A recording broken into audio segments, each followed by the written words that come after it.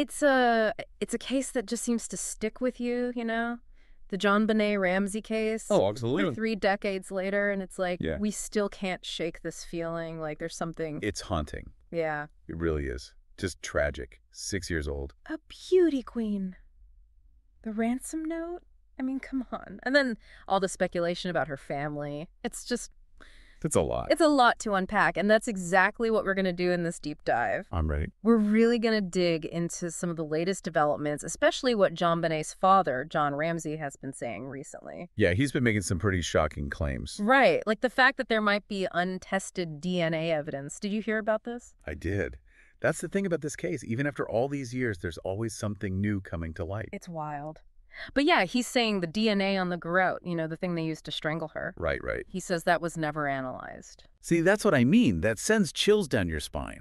If that's true, how, you know, like, It's a huge deal. it's massive. I mean, DNA evidence is everything these days. It's how we solve so many cases. Right, like did they just miss that? You have to wonder if that wasn't looked at, what else was missed in the initial investigation. Exactly. I mean, if they didn't test something that crucial, Right. It makes you question everything. Well, and we have to acknowledge the Boulder PD, they put out a statement. They couldn't really comment on what John Ramsey's saying Yeah. because it's still an open investigation, supposedly. Oh, right, of course. So maybe they did test it and they just aren't saying, you know, Okay, so maybe or maybe there have been new developments that they just can't talk about yet. exactly. We're in the dark a little bit here. So frustrating. But okay, let's say for a second that there is testable DNA on that garrote. What could that mean now? After 27 years, I mean, is it even possible? Honestly, even after all this time, it could change everything. The technology we have now, it's unbelievable. Oh, yeah. Even from a tiny sample, they could potentially get a match or at least rule some people out. Wow. Things like uh, familial DNA searching, they could compare it to public databases, see if there are any relatives, any connections. Oh, wow. Didn't even know that was a thing. Oh, yeah. Or even, uh, what is it, touch DNA. Like even the tiniest trace amounts, they can get something from that now. It's incredible. That's kind of scary, actually. It is. But also amazing, like the things they can do with forensics these days, it's come a long way. Oh, absolutely. Makes you think about how different things might have been back then, especially with the media frenzy around this case. Remember that? Oh, are you kidding? It was insane. Wall to wall coverage. Do you think all that attention, do you think it helped or hurt the investigation? I mean, what do you think? It's got to be both, right? Like, on the one hand, it keeps the case alive. People are looking. Maybe they find something they wouldn't have. But the pressure Intense. must have been so much pressure on those investigators. And you know it can lead to mistakes. Yeah. Tunnel vision. Oh, totally. And what about the family? I mean, can you imagine? It's easy to forget there are real people at the center of all this. Uh, The cameras, the speculation. the constant scrutiny. Awful. It's a lot to deal with on top of, you know, already unimaginable grief. Speaking of which, we have to talk about what happened with Burke, JonBenét's brother. Oh, you mean with Dr. Werner Spitz? Yeah. Spitz, he's a big time forensic pathologist, right? Right. He actually went on CBS, like a whole special about the case, and accused Burke of killing his sister. I remember that. It was crazy. And Burke sued him for defamation. And rightfully so, in my opinion. I think so too. It's just, you can't just go around accusing people, especially a kid, without any real proof. It was a landmark case, actually. Yeah. And it really showed how damaging those kinds of accusations can be. I mean, Dr. Spitz, he's entitled to his opinion, of course, but to say that publicly with no real evidence. yeah, that's just irresponsible. It was settled out of court, I think, in 2019. It did, yeah. Which really tells you something. It does. At the end of the day, we can't forget that these are real people's lives we're talking about. It's a good reminder for all of us, honestly, to think before you speak, you know?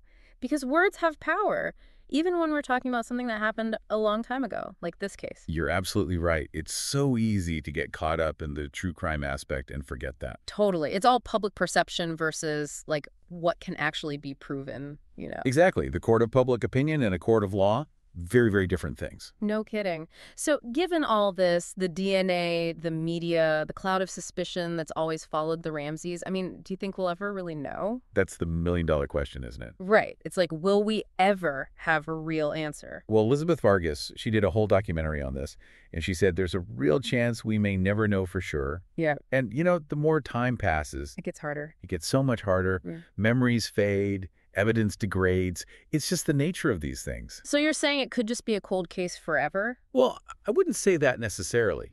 Remember what we were saying about DNA and how much it's advanced? The Boulder PD mentioned that 750 sample update. Right, right. That's huge. I mean, even after 27 years, they might still find a match. And it's not just DNA, right? There's so many other things they can look at now. like what? Fibers, fingerprints, Yeah.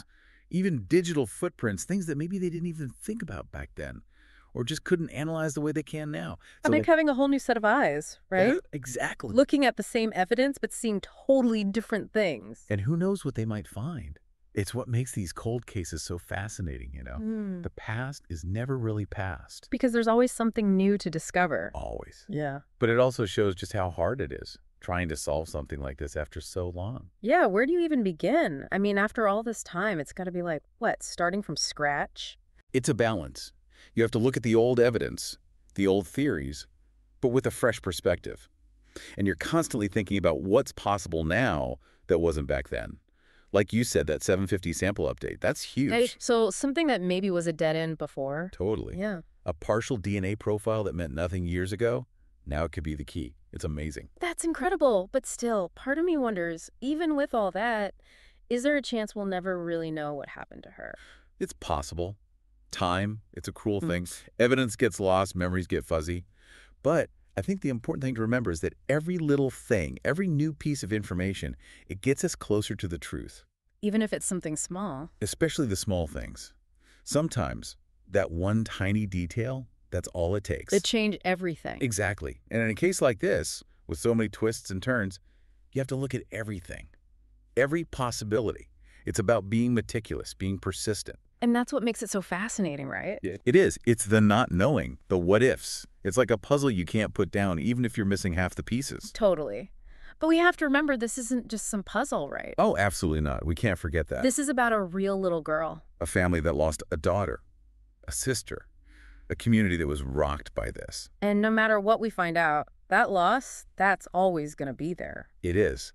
And I think that's important to remember as we're going through all of this. It's a good reminder for all of us, I think, yeah. to be sensitive even as we're trying to figure things out. Exactly. So as we keep talking about this case, about JonBenét, let's keep that in mind, the human element, but also the fact that things change, you know.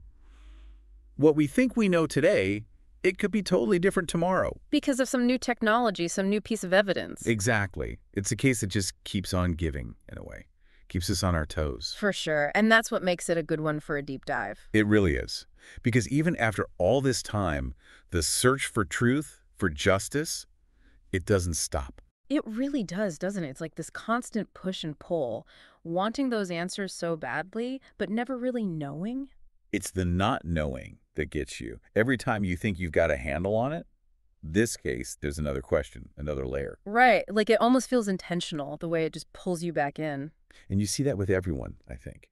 People who are obsessed with this case, people who are actually working on it, even just casually following along, we all want that resolution, that feeling of, okay, now it makes sense. And do we ever get that?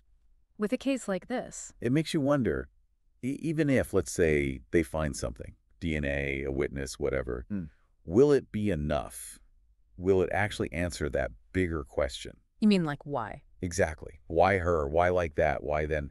Sometimes, some cases, I don't know if there's ever a good enough answer, It's true. And that's unsettling, right? for sure. But maybe that's part of it too. Maybe some mysteries just can't be solved, not completely. And we have to be okay with that. Does that mean we stop looking, though? Never. We keep asking the questions, we keep trying to make sense of it, because that's all we can do, right? Even when the odds feel stacked against us, I like that. It's like the searching never really ends. it doesn't. And I think for JonBenét, that's what matters, keeping her memory alive, not letting her story just fade away. That's beautifully said. And I think that's a good place for us to leave things today. But to our listener, we want to hear from you. What is it about this case that sticks with you? The DNA? The family secrets? Or is there something else, some other detail that you keep coming back to? Let us know, because every thought, every theory, it all helps in its own way. Until next time, keep diving deep.